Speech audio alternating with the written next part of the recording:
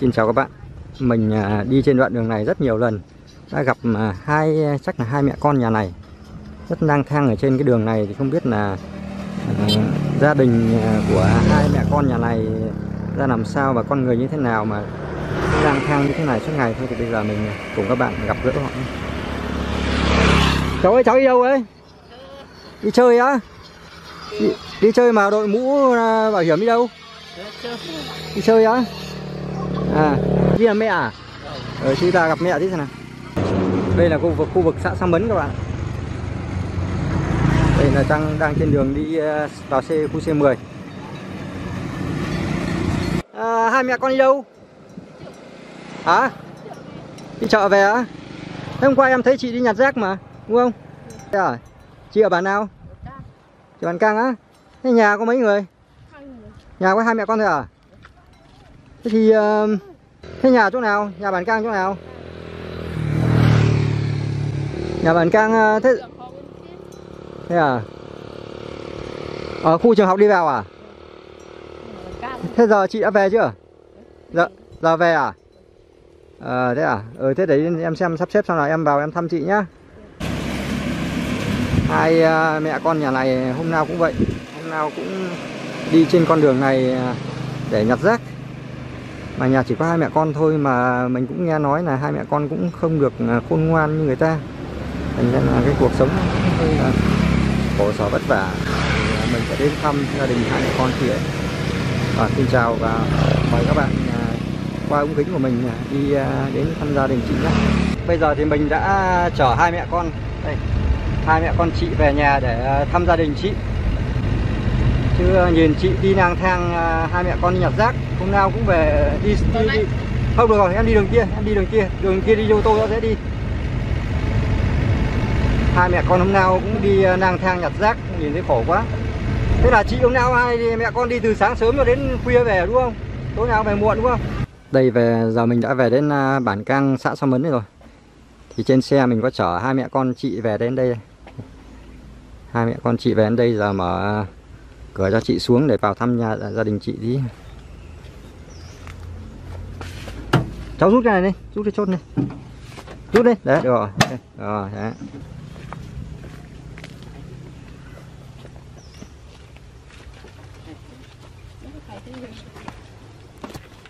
đấy, cổng cổng chui cả được vào này thì làm cổng làm cái gì? Cổng này chỉ gọi là rào châu bò thôi có cùng nhiều quá.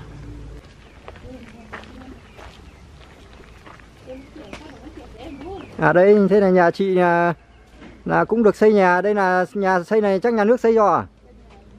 Nhà nước xây cho gì? Ừ, xây lâu xây lâu chưa? Thế à? À. Đây thế thì em đến à, thăm chị mua cho chị kiện mì tôm ăn sáng nhá với cả uh, sữa đấy. Về về mua cất đi. Rồi. Và và mua đây để cho hai mẹ con ăn sáng nhá. Thực sự nhìn thấy hoàn cảnh của chị uh, khổ quá thì em uh, gọi đi đường nhìn thấy nó cũng động lòng thì gọi là có chút quà thôi. Của ít lòng nhiều thôi chứ không có nhiều đâu chị ạ. Nhưng mà về đây thì cũng được nhìn thấy chị uh, nhà nước cũng xây cho nhà cửa như này là cũng được rồi. Thế là nhà nước họ xây hết cho cái nhà này gì? Ừ, thế thì cũng được rồi. Thế chồng chị thì thế nào đi đi vào mở cửa nhà xem nào mở cửa nhà cho mở cửa nhà cho em vào nhà em thăm trong nhà tí xem nào ui rồi ôi chết rồi sao nhà cửa để thế này ui trời ơi đồ đạc bừa bộn hết ra này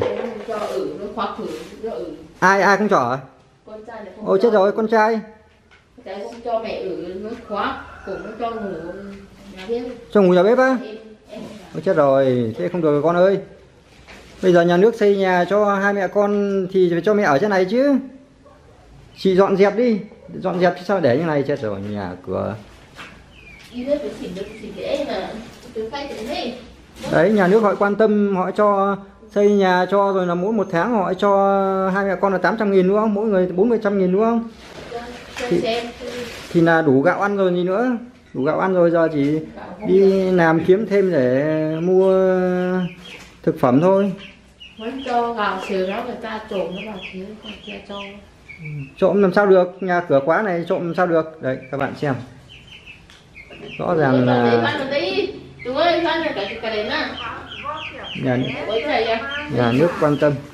À đấy chị ạ.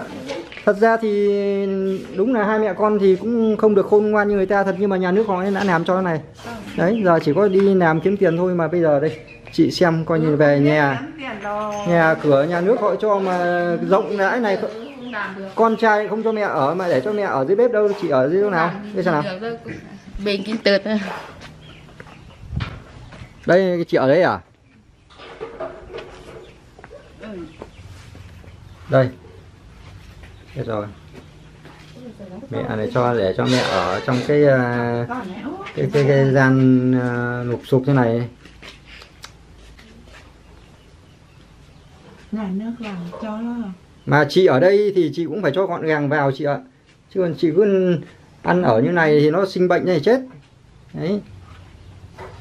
Khổ đấy đấy. Ốm đau mà con em thì em đi làm hôm nào em cũng gặp hai mẹ con là cứ lang thang trên đường nhặt bới cái đống ờ, rác kia nó bẩn tưởi mà chả có biết có nhặt được cái gì không mà. Mà mà giờ về thăm nhà thì nhà cửa như thế này chết rồi. Đấy con phải gọn dọn gọn gàng với xem nào gọn gàng và ăn ở cho nó sạch sẽ. Mai ngày kia chú lại quay lại chú thăm đấy chứ không phải là là, là đọc hôm nay đâu. Mai ngày kia chú quay lại chú thăm xem là ra cái đình dọn dàng sạch sẽ được chưa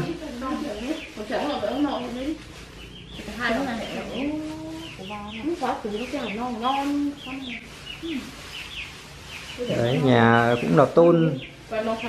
Nhà xây hai gian lập tôn sơn giếc này. Thế là nhà này nhà nước xây cho lâu chưa chị? Năm ngoái à? Là, là xây hết cho cái nhà này gì? Đấy. nhà máy xi măng cho đơ à cho à nhà máy xi măng cho thêm nữa? Vâng. À rồi anh nhà máy xi măng là cho xi với tấm đập thế à? Vâng. À. Cửa cửa é ờ. Nhà máy xi măng cho bà. đội cho Thế còn- thế- người mỗi nhà thế còn đất cát của nhà ra thị đằng kia à? Không. Cả à, chỗ này thôi. À chỗ trong là trong trong này đất này thôi chị? Ao kia thì nhà bên kia. À thì nhà bên kia à? Ừ nước này cũng bên kia đây là em trai nó cho cho à? một ít nước này thôi chỗ này Ừ. thôi. bà. Thôi bây giờ em bảo này nhà nước họ đã làm cho cái này rồi giờ mình có cái nhà rồi. Đấy giờ chỉ bốn trăm một người hai mẹ con được 800 là cũng đủ tiền ăn gạo rồi. Đấy giờ mình đi làm hàng ngày chỉ kiếm tiền để rau dưa thịt cá thôi đấy mấy phòng mấy phòng khi ốm đau thôi thì phải cố gắng lên chứ bây giờ nhà nước họ cũng quan tâm này chứ không phải không. Em cứ tưởng là, là nhà cửa nụp sụp lắm cơ nhưng mà thực tế ra thì cũng này là được rồi. Đấy bây giờ con cái phải phải phải bảo nó dọn dẹp nhà cửa đi cả nhà chị nữa Ngày- hai ba hôm nữa em lại quay lại chứ không phải là là, là đọc hôm nay đâu. Làm sao? Đấy con con phải dọn dẹp cho nó gọn gàng xem nào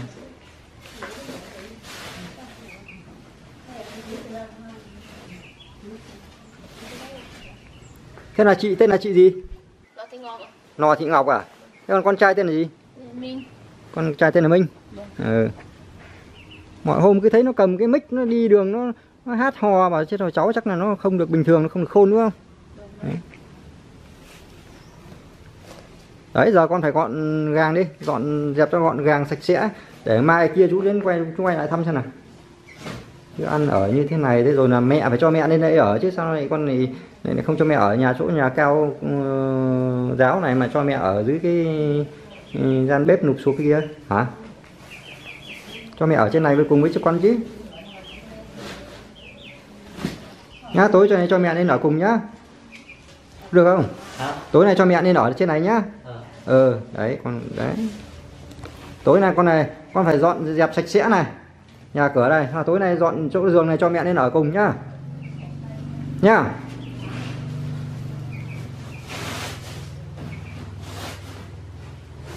đấy bây giờ em sẽ bảo cháu một hai nữa em quay lại. Sẽ bảo cháu dọn dẹp nhà cửa sạch sẽ đi. Xong bắt đầu chị chuyển lên đây ở. Hai mẹ con ở trên này cho nó sạch sẽ chứ. Sao đi? Nó không cho ở thì sợ nó lánh thì mẹ nó có nằm bên kia. Ừ. Sao đánh mẹ thế là thế nào hư nhỉ? Thằng này nó không cho mẹ nó ngủ bên này. Nhỉ à? trước thì nó ngủ bên kia mẹ nó ngủ bên này. Nhưng mà nó không cho mẹ nó ngủ mẹ nó kể như thế. Và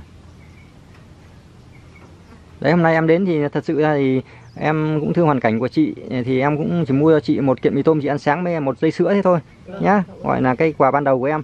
Thế còn sau này nếu như mà à, đưa lên à, mạng mà có nhà hảo tâm nào họ giúp đỡ ấy, thì em sẽ quay lại để trao quà cho chị. Nếu như mà có nhà hảo tâm nào họ giúp đỡ.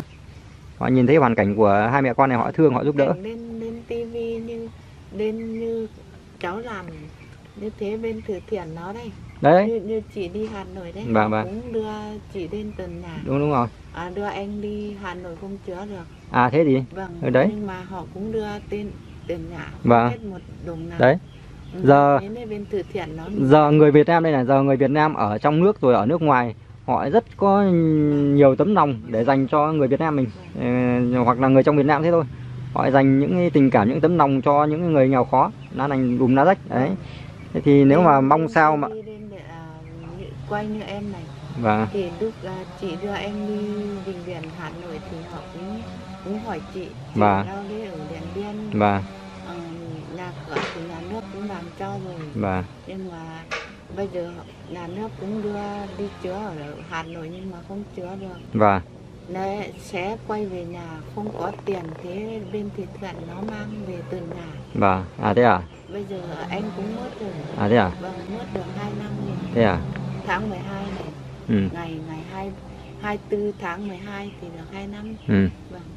Em thấy ở bản này là có hoàn cảnh chị này mấy hoàn cảnh của cái cháu gì con nhà cô nhung đấy mẹ vợ cũng mới mất đấy hai cháu mồ cô ấy thì đại khái này em để xem xem nào nếu mà cái à, có được sự giúp đỡ thì em sẽ cũng quay lại xem quay cái hoàn cảnh của cháu kia của em kia. Đấy. thế là chị thường thường đi nhặt rác hai mẹ con đi nhặt rác như thế là từ sáng cho đến tối về? Trưa không về ăn cơm? Không ăn đâu không có. Ôi rồi không có thì cũng phải có cái gì mà ăn có mì tôm ăn chứ sao này họ họ làm đám cưới thì họ cũng cho. Ờ. Cho thì nó có cho mẹ nó ăn đâu. Thế à? Sáng hôm qua em gặp đi từ sáng sớm, nó đến tối hôm qua khoảng à, 8 giờ tối là em thấy hai mẹ con ấy thích về kia. có Đấy. thì 9 10 giờ 12 giờ đêm mới Ai đi dạ? về ngủ ngủ nhưng mà con này không cho ngủ ngủ bên kia Vâng vâng. ừ. Ôi quá nhỉ. Thế thế chồng chị ở đâu? Chồng ở Nam Hẹt chồng ông hẹt thấy bỏ nhau từ lâu rồi à? bỏ từ con kia còn bé tí À thế à? ừ. bây giờ trước thì Thế thì anh ấy giờ có chu cấp gì cho thằng bé này không? thằng kia cũng như thế này À chồng cũng thế. ừ À thế mới khổ nhỉ. trước thì bà nó chưa mất bà nó ở bên kia đấy thì bà nó hỗ trợ thì không như thế này đâu Vâng. bây giờ bà cũng mất anh trai cũng đi tù Thế à? vâng À. ừ, cũng như thế đấy Ừ. ừ, bây giờ cháu con em trai nó ở nhà thôi Vâng. à, Ừ. trước thì không như thế này đâu Vâng, Nó cũng may quá hôm nay gặp chị ở đường sau giờ chị cũng nhiệt tình chị về đây để cho những cái thông tin rất là bổ ích, rất là đáng tin tưởng để cho những nhà hảo tâm có thể là qua đây có thể là biết được thì có thể là sẽ giúp Nó- đỡ nó chị và cháu đây. đi bắt cái gì đi bán thì bên bên chùa nó thấy thì bên chùa nó không cho bán À, ở trước thì nó cũng đi nhặt ốc nhặt gì đi bán đấy nhưng mà Ừ. chùa nó không cho bán đấy thế à? vâng À, thế. ừ, đi hái rau hái rêu thì không sao Ừ, nếu con ốc thì chùa không cho bán ừ. À, thế à? thấy thấy nó bán thì chùa cướp đi thì cho tiền À, dạ, Vâng. thả ra đấy. vâng Đấy, trả người người ta không sát sinh đâu. Ừ. Đấy ở chùa. Ừ. chùa thì không cho nó bán Ừ. thế trước thì mẹ con này cũng đi bắt ốc về bán thôi Thế à? Vâng. Bắt khổ. ốc à lúc có rau có rêu thì nó cũng đi hái rau hái rêu về bán Vâng, bây giờ không có cái gì trời thì không mưa vâng. Ừ. toàn đi nhặt à, cái gì về ăn Vâng. Thế gặp cái gì thì họ cũng gói cơm mà gói cái gì cho ăn chia Vâng. nhau mà ăn Vâng. Ừ. bản cũng mỗi người góp 50 nghìn cho đấy nhà này À thế à? Vâng. 50 nghìn là Đang- một 50 nghìn là một năm hay thế nào? một năm ô một người một nhà một nhà góp cho làm nhà À làm nhà đấy gì? Vâng. Ừ, thôi mỗi mỗi mỗi nhà 50 nghìn và Ừ. thôi thấy chị à, hoàn cảnh như này thì thôi cũng chung tay vào mỗi người giúp đỡ một tí cho nó vâng bớt đi cái khổ. À. Để cho dọn dẹp những gì không dùng đến thì bỏ đi mang ra ngoài vườn đốt đi những cái rác rưởi đốt đi còn những cái gì sạch sẽ mà dùng đến thì hãng để trong nhà này. Nhà chú thì chỉ to đây một tí thôi, nhưng mà nhà chú nó gọn gàng. Sạch sẽ đấy đây bây giờ nhà nước ở xây nhà cao cửa rộng này để ăn ở cho nó sạch sẽ vào.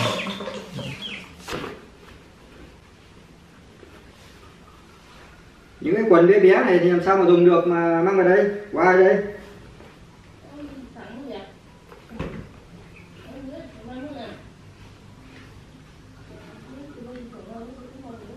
Còn quần đẹp này chắc là nhà hảo tâm nào họ cho đấy.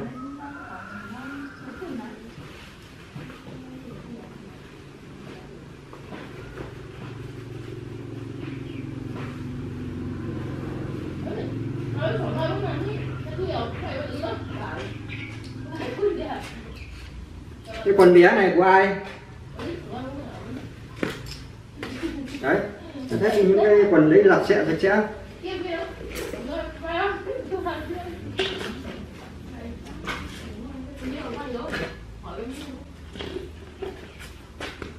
ở dọn dẹp nó sạch sẽ chứ sao lại vừa ra là chết dở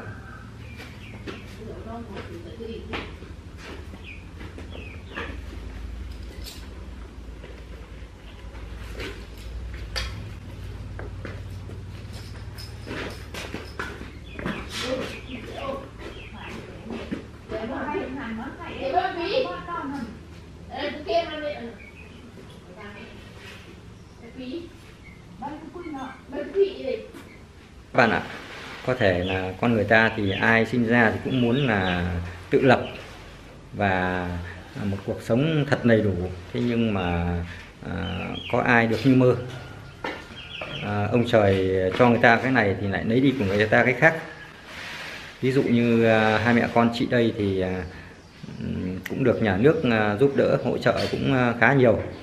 Thế nhưng à, à, hai mẹ con thì cái à, và đầu óc thì cũng không được bình thường như người ta. Cho nên cái cuộc sống thì vẫn cứ à, lận đận nao đao như thế này.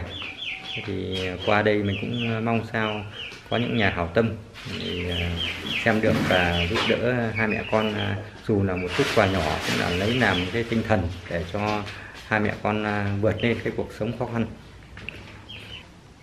Thế cái chỗ màn này thì ai ngủ ở đây chị? Con trai ngủ đây á thế sao hai cái giường rồi lại còn ngủ đây thế bây giờ nó dẹp dẹp nhà cửa sạch sẽ rồi là chị nên ở đây trên này nhá.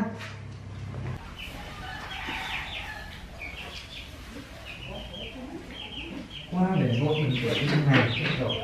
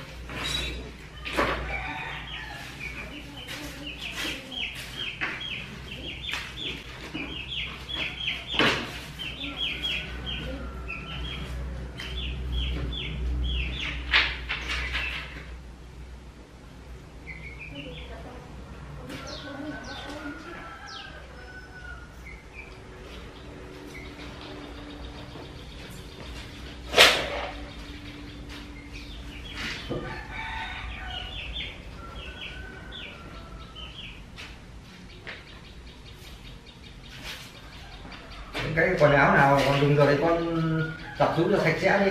Gấp gọn vào để một chỗ và giờ mặc dùng đấy từ từ dọn hết từ trên đã. Chị cứ dọn hết từ từ trên giường xuống đã. Gấp dọn bên dưới.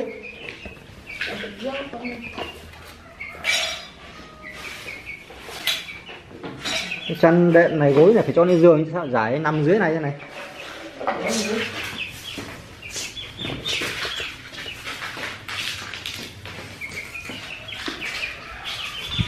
Đấy dọn hơn nửa tiếng đồng hồ rồi bắt đầu.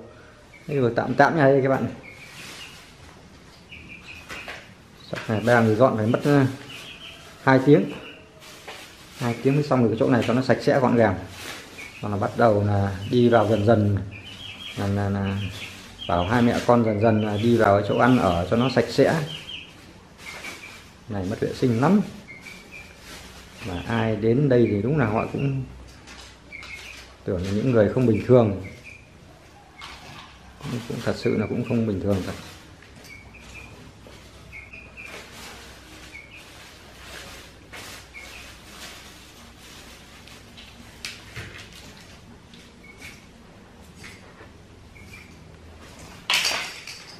Đấy, cho quét sạch sẽ xuống. Rũ cho nó sạch sẽ đấy đi.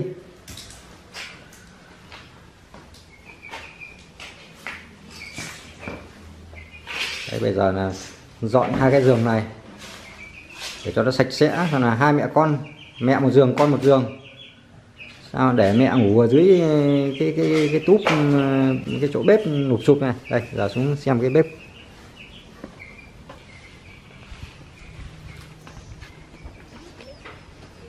Đấy, cái bếp này chị phải dọn đi nhá. Cái bếp này dọn nó sạch sẽ đi. Chuyển hết lên nhà cái ở thôi. Hai mẹ sinh ra mình để cho mẹ ăn ở cái xó xỉnh thế này.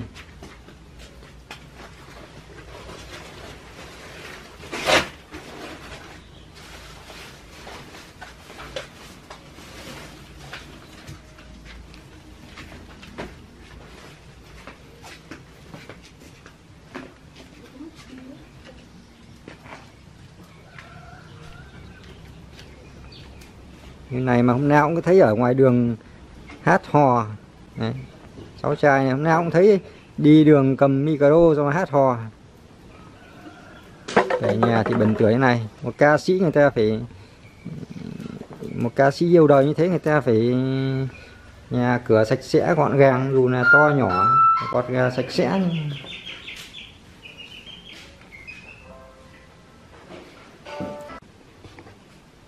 Sau ờ, khoảng thời gian ờ, gần 2 tiếng mới dọn dẹp được cái chỗ này các bạn. Cả hai mẹ con chị và mình cũng tham gia một chút. Thì bây giờ em bảo này cháu ờ, chú bảo này con đứng đấy. Bây giờ nhà cửa sạch sẽ rộng rãi rồi. Thì bây giờ con tối đến con cho mẹ ngủ đây nhá. Ờ, nhớ nhá. Tối chú quay lại chú kiểm tra nhá. Tối chú quay lại chú xem xem nào có cho ngủ không nhá chưa. Cho mẹ ngủ đây nhá. Thế tối chị ruột lên chị ngủ nhá ờ dọn lên ngủ cho nó sạch sẽ. Đấy. Ở đấy tặng hoa mẹ đi. Đúng rồi. Tặng hoa tặng tặng ờ, cái tặng tặng đấy tặng hoa chị. Đấy đúng rồi. Đấy các bạn thấy không? Rất hài. Rất hài phải gì đâu. Đúng rồi hai tay hai bông hoa đấy. Thế bây giờ là dọn dẹp sạch sẽ rồi. Thì là tối chị ngủ bên này cho con trai ngủ đây nhá. Ừ, đấy nhà cửa giờ tương đối sạch sẽ rồi. Thế còn à, một hai nữa em sẽ quay lại nhá. Để xem ờ, một hai nữa em sẽ quay lại để xem xem là à, chị với cháu là ăn ở thế nào nhá. Ừ. còn bây giờ là em phải xin phép về đã nhá. Ờ, rồi, rồi. Em là thự. Ừ. xuân thự nhá. Ừ. em là mâm nót. Ừ, và và thôi xin chào xin à, tạm biệt các bạn. Bây giờ thì mình sẽ quay ra chỗ nhà bác trưởng thôn để thông qua chỗ bác một chút không thì à, mọi người sẽ hiểu lầm là mình à, à, đang lợi dụng một cái gì đó thì cũng không à, hay. Thì mình sẽ quay ra để thông qua chỗ à, gia đình bác trưởng thôn để cho bác biết được là cái à, tinh thần là như vậy. Thôi thế chào hai mẹ con nhá. Rồi, ừ, chào. ừ, rồi nha bắt tay tí nào. Bắt tay tí với ta tay rồi nào con trai nào. Nhá nhớ lời chú dặn nhá. Ừ, rồi rồi ok